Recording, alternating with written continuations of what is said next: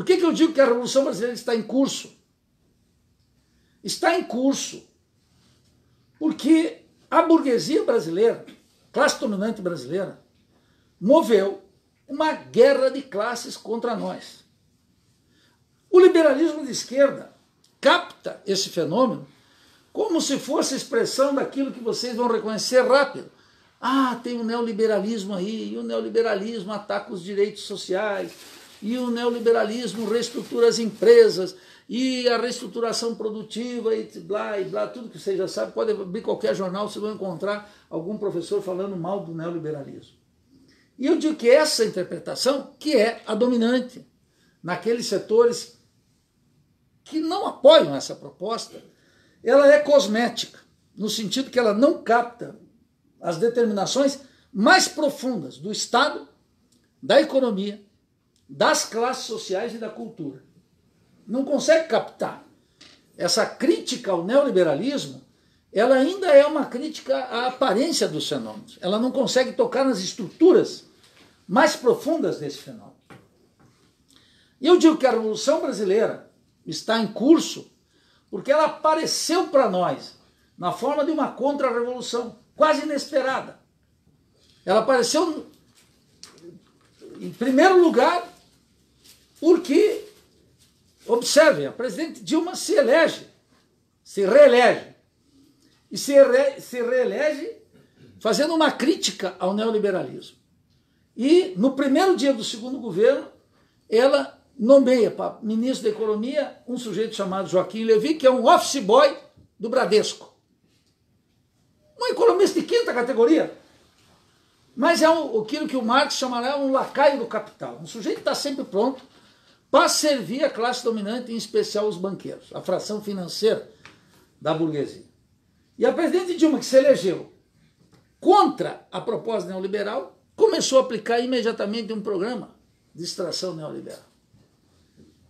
Foi ali a primeira vez que apareceu já, sob a forma de um governo petista, a guerra de classe contra o povo. Corte de direitos, corte de programas sociais, corte de orçamento em conjunto de áreas, corte de direitos até de pescadores, lá em janeiro de 2015. Começaram a fazer, como gostam os economistas da classe dominante, fazer economia na caixa de fósforo. Sobretudo a caixa de fósforo, porque o povo acende o fogão na, no fósforo ainda. Muito bem, aquele processo foi evoluindo de tal forma que nós passamos pelo governo corrupto e liberal de Michel Temer, que sob o bordão de uma ponte para o futuro aprofundou todas aquelas medidas anunciadas e praticadas pelo governo da presidente Dilma. E agora, nós sofremos um avanço ainda maior, que é a aplicação de um programa ultraliberal sob condição de Paulo Guedes e sob a batuta de um governo protofascista, encabeçada por Jair Bolsonaro. Então veja que desde 2015, da reeleição da Dilma, essa guerra contra os direitos do povo, contra os direitos do trabalho, um assalto ao Estado de maneira gigantesca, começou a evoluir de maneira rápida. E essa evolução rápida é o que corresponde ao que nós estamos chamando, em bom português, de uma guerra de classes contra os interesses populares. Contra a classe trabalhadora em geral e contra o país no seu conjunto, contra os interesses e a soberania nacional. Então esse, esse é o ponto. A revolução apareceu aqui não na forma clássica que a gente pode ver, que é aquela definição clássica do que é uma revolução, a emergência das massas na política. Né? É uma definição que naturalmente é de Lenin, é de Trotsky, é de, da, da Revolução Russa, mas é também da Revolução Chinesa, é também da Revolução Cubana, é também da Revolução Vietnamita, a emergência das massas na política.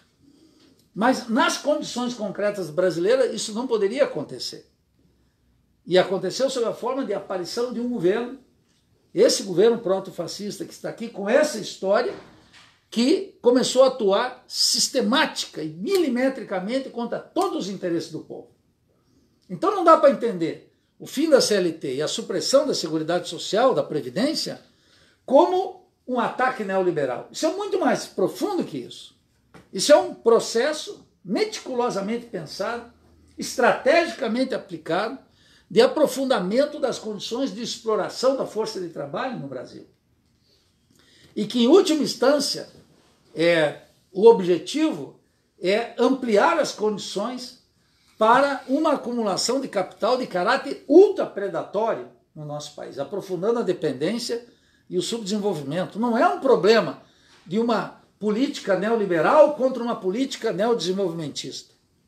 Isso vocês podem ver. Os políticos vulgares que estão aí, como Lula e Ciro Gomes, para dar duas expressões, eles formulam em geral como a ideia de que existe uma política neoliberal, que é essa, e existe uma outra política desenvolvimentista ou neodesenvolvimentista, que se nós tivermos, como eles divulgam, uma certa vontade política, nós poderíamos reverter essa situação. E nós aqui da Revolução Brasileira estamos dizendo isso é impossível dentro do atual sistema político. E é por isso que nós postulamos a necessidade urgente de uma revolução brasileira. Agora, uma urgência urgentíssima. Por quê? Porque a classe dominante, a burguesia brasileira e a embaixada de Washington já percebeu antes dos políticos vulgares que é necessário colocar em marcha uma contra-revolução. Essa contra-revolução não é um capricho da classe dominante, não é um cacuete autoritário da classe dominante, porque essa é a leitura do liberalismo de esquerda. Essa contra-revolução, ela obedece a necessidades prementes da dominação de classe no Brasil, que supõe a emergência de um novo regime político e um novo regime de acumulação. Eu quero mostrar coisas. Então eu estou começando aqui por aquilo mais aparente. Nós estamos todos estupefatos com o fato de que um deputado de quinta categoria, um militar degradado, como Jair Bolsonaro, chegou à presidência da República, não de maneira qualquer, e não por um golpe de WhatsApp, que isso pode ser a maior imbecilidade que pode ter. Tem gente que acha que o WhatsApp ganhou a eleição e fica alimentando essas quinquilharias. Ele ganhou por uma razão muito simples, porque ele se apresentou nas eleições como um candidato contra o sistema. Se vocês analisarem os discursos, a prática do MBL, que são todos organismos financiados pela Embaixada dos Estados Unidos aqui, e vamos para a rua, e essas organizações ultraliberais de direita, e o discurso proto-fascista de alguns personagens, e mesmo o discurso de um general como o general Mourão, vice-presidente da República agora, se vocês observassem os discursos dele de três anos atrás, quando ele nem sequer supunha que poderia ser candidato a vice-presidente, os discursos que ele deu nas lojas maçônicas, por exemplo, que está tudo aí no YouTube, basta vocês buscarem. Vocês vão ver lá um general ultraliberal, completamente identificado com o que está acontecendo aqui. Quer dizer, expressando que nas Forças Armadas brasileiras, uma hegemonia ultraliberal alinhada com os Estados Unidos controlam as Forças Armadas, em particular o Exército. E agora sai de maneira desinibida com um conjunto de generais, todos criados nos últimos 20 anos. Portanto, crias dos governos petistas e do governo de Michel Temer. Todos esses generais estão aí general Heleno, general Mourão, todos eles cresceram. Você tem uma ideia, o general Heleno foi nomeado para presidir as forças da MINUSTAH no Haiti. Nomeado por quem? Pelo Bolsonaro? Nomeado pelo Michel Temer? Não, nomeado pelos governos do PT. Você veja que esses generais, essa hegemonia, ela foi se formando aqui de maneira muito clara. Não era um plano clandestino. Estava à luz do dia as coisas acontecendo. Então veja que essa contra-revolução apareceu porque um sujeito sabidamente desqualificado e que ademais mostra todos os dias sua desqualificação. Mas o poder não é uma defesa de tese, de doutorado. Percebe? O exercício do poder pode ser de maneira muito clara e com muita eficácia, ser exercido por um general como Pinochet, que não era particularmente culto. Ou como os generais brasileiros, como João Batista Figueiredo, que dizia que gostava mais do cheiro de cavalo do que do cheiro de povo. Entendeu? O tema do exercício do poder não corresponde a alguém inteligente, etc., porque isso não existe nem na Europa, nem nos Estados Unidos, nem em nenhuma parte. O poder dispensa ah, um saber enciclopédico. O que orienta o poder, é, o poder é constituído de outra matéria. Percebe? E a gente tem que ter clareza disso. Por isso que Bolsonaro serve a medida para o poder. Assim como Fernando Henrique, como Lula, como Dilma, como Temer, como todos eles. Eu vou explicar aqui, para aqueles que acham que eu estou forçando muita barra em igualá-los, eu vou explicar por quê. Então veja, isso apareceu sob a forma de uma contra-revolução. E esse sujeito aparece, que esse é o ponto mais importante do que eu tenho para dizer aqui, nessa parte. É que ele aparece como um candidato que está contra o sistema. E cabe a pergunta: qual sistema? O sistema capitalista? O sistema imperialista? Não. Contra a podridão do sistema político. Existiam evidências de que o sistema estava podre? Imensas. Mas não por causa desse juizinho vagabundo que é o Moro. E esse outro procuradorzinho vagabundo que é o Deltan Dallagnol. Não por isso. Por coisas mais importantes pelo fato de que desde 94, quando começou aquele sistema petucano, petistas e tucanos se alternando, num sistema político que tinha alguma funcionalidade, o número de votos brancos nulos e o abstencionismo para a presidência da República foi crescente. Cada vez mais. Ninguém deu bola para isso.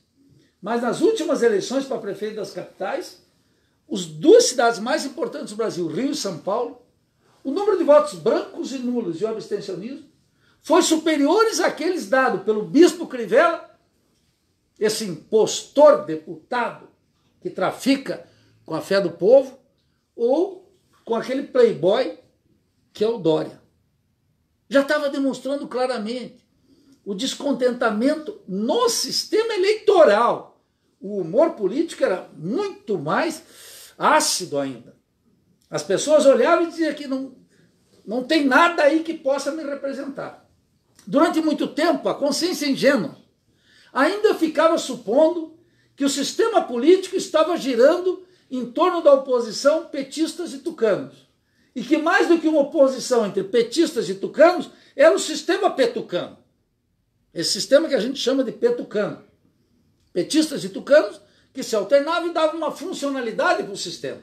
Parecia que a democracia brasileira estava bem, porque de um lado estavam os social-democratas, com o charminho colonizado de Fernando Henrique Cardoso, expressando os, os interesses de uma elite que se apresentava como esclarecida e democrata, e de outro lado, os proletários do Brasil, representados pela figura de Lula, com a orientação da Igreja Católica, a quem finalmente Lula serve de maneira desinibida.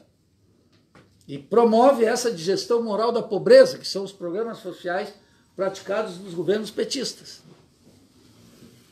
Desde logo incapaz de tocar na estrutura da pobreza, que a estrutura da pobreza é a acumulação do capital e o regime da propriedade. É aí que mora. O resto é, nós vamos discutir aqui, dar os números, etc. Então veja que enquanto os petistas espetavam os tucanos no parlamento e os tucanos espetavam os petistas nas eleições, estava paralelo, correndo um fenômeno que era a crise do sistema político. Essa crise sofreu uma aceleração. Qual foi essa aceleração? Em primeiro lugar, aquele tremendo estelionato eleitoral aplicado por Dilma Rousseff, que derrota o programa neoliberal de. Como é que chamava o economista do, do Aécio? o Armínio Fraga, e coloca um banqueiro como ministro de Economia. E vejo que o Lula ainda tinha convidado o Trabuco, que é o presidente do Bradesco, para ser o ministro.